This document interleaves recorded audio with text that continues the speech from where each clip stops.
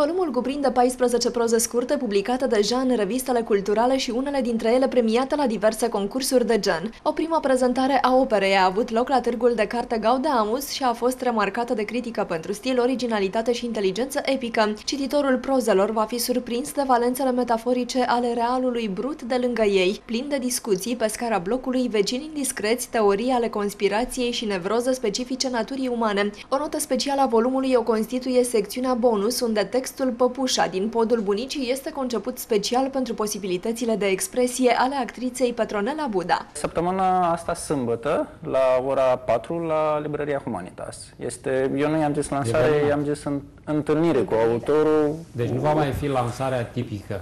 Da, pentru că acum. eu cred că e puțin plictisită lumea. Fiind, Fiind cartea deja în vânzare, lumea, unii o vor fi cumpărat, o parte dintre ei o vor fi citit măcar de așa natură că, practic, întâlnirea cu autorul ar trebui mai mult să meargă către zona de uh, întrebări adresate autorului sau curiozități din partea mm. publicului. Eu recunosc că am citit cartea și am descoperit acolo surprinzător multe, multe personaje foarte vaste și foarte bogate și chiar și acum în drum spre, spre emisiune am pus tot felul de întrebări. Sunt convinsă că va avea de, de răspuns la niște întrebări.